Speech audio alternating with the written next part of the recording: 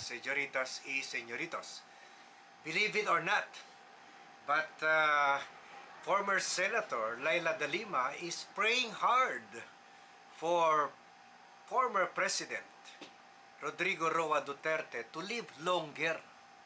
She wants him to uh, to reach beyond 80 so that he can serve his term behind bars in the international or lo- international criminal court or local courts kung saan po ang mauna or whichever the political wind blows.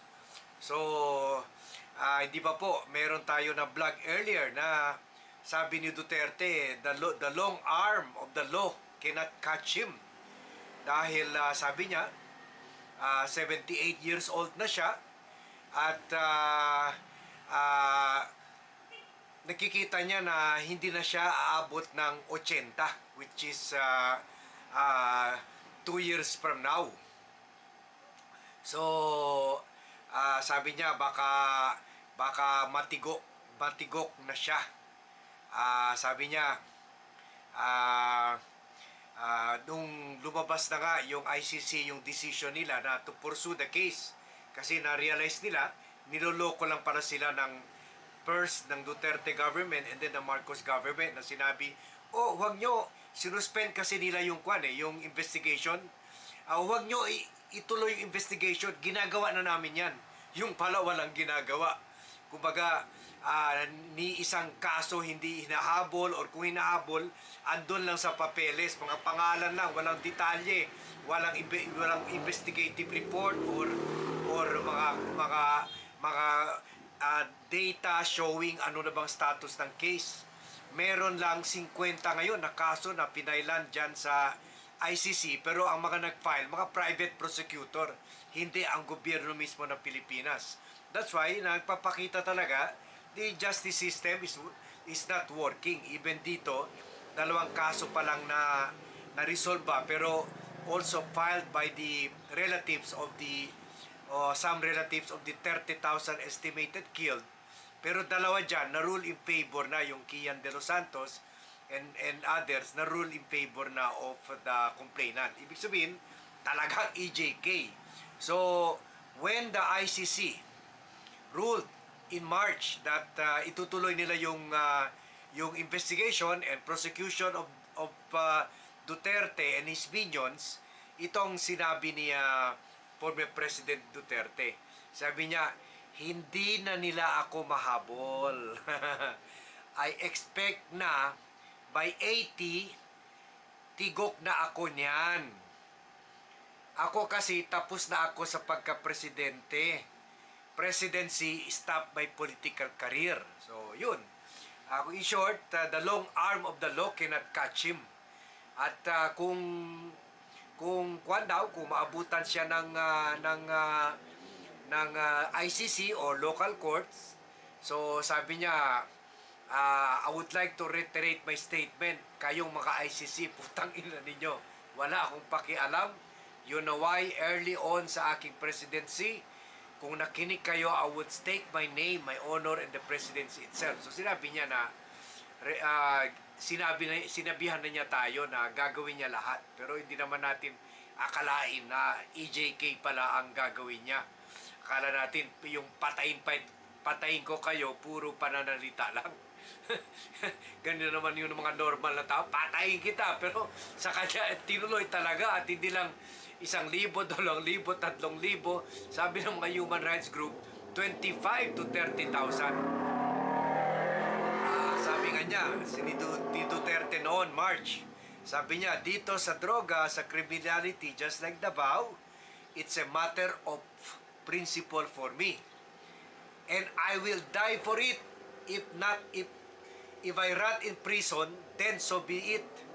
Wala akong pakialam, basta ginawa ko yung dapat kong gawin. I'll face the music. I will rot in prison I, and I will die in prison. Although later on, hinabol niya na hindi naman, hindi naman niya mangyayari dahil ah, matitigok na ako ah, before reaching 80. Pero ang reaction dito ni Laila, hahabulin niya mga, ang mga kaso niya kay Duterte, magko-cooperate siya sa sa DICT at ah, ah, nagdadasal siya na ah, ang 78-year-old former president will still live longer to face the music and to face his accusers at uh, the the International Criminal Court at The Hague. Uh, at The Hague. So the Netherlands. So sabi niya sabi ni De Lima and I quote he needs to face the wheels of justice. He must stay alive. Yan John Travolta naman ang kanta ni ni Laila De Lima stay alive ha? He must stay alive. So kayo anong gusto nyo mangyari? Gusto nyo ba matigok na yung yung uh, heavenly justice yung kwan na ah, ah, ah, justice beyond uh, living ang uh, matatamaan kay Duterte? Ju- ju- ah, God's justice na lang or uh, you want him to to suffer in jail dito sa although magandang jail dyan sa The Hague ha? mga mga kwan yan na first class na jail dyan. Sana maganda yung dito talaga mga jail yung siksikan talaga sila no? Na natutulog. Yun sana yun ang the best talaga. So ito yung sinabi ni De Lima in reaction to that. So she wants him to suffer na siguro gusto niya umabot ng mga kung na-convict at nakulong si Duterte kung umabot ito ng mga 90 90 years eh mga 10 years ito um, uh, kwan, ma, magsasuffer in jail. At ah, sabi pa nga ng mga ng mga humahabol sa kanya yung mga ah, private ah, lawyers na nagre-represent sa complainants uh, maari mga 10 years ang ah, ang penalty niya if found guilty. Mga 10 years imprisonment ang ah, ang ah, papatawan sa kanya ng ICC so at ah, during the interview at ah, dito sa sa Agence France Press or AFP sinabi rin ni De Lima na nung tinanong siya about her political plans, sabi niya, she's, uh, tapos na daw sana siya sa naging uh, uh, Ju- Justice Secretary na siya nung time ni Pinoy, naging uh, senator na siya, uh, out, uh, tapos na sana siya sa politika, out na sana siya sa politika, pero sabi niya, ah, nung tinanong na "Ta- tatakbo ba kayo sa Senado, ganon, sabi niya, ah, I'm not completely ruling it out. But, but I'm not sure, sabi niya. Ah, you cannot just run without resources, financial resources. So yun, na uh, naman, you need, ah, lalo na ngayon, ang daming bobotante, kailangan ka talaga ng pera to, to run for office. So sabi niya, sa ngayon, ang priority niya is to, co- to cooperate with the ICC and uh, to uh, to pursue the cases against Duterte na ang tawag niya ay ma- mass murderer. So, tingnan natin. We will follow that up. Pero for now, uh, we will uh, we will uh, uh, uh, uh, let these two do the talking kasi sa tingin ko wala na tayong makaka ah, ah, ah, subtract or dag dagdagan sa mga sa mga sa mga statements nila dahil uh, very colorful na talaga siya. Basta sa atin uh, if I were to be asked ako rin I agree with uh, Secretary De Lima that uh, death is a sweet uh, sweet uh, injustice. Napakasarap naman ng buhay na gano'n na hindi uh, he can escape uh, justice by dying.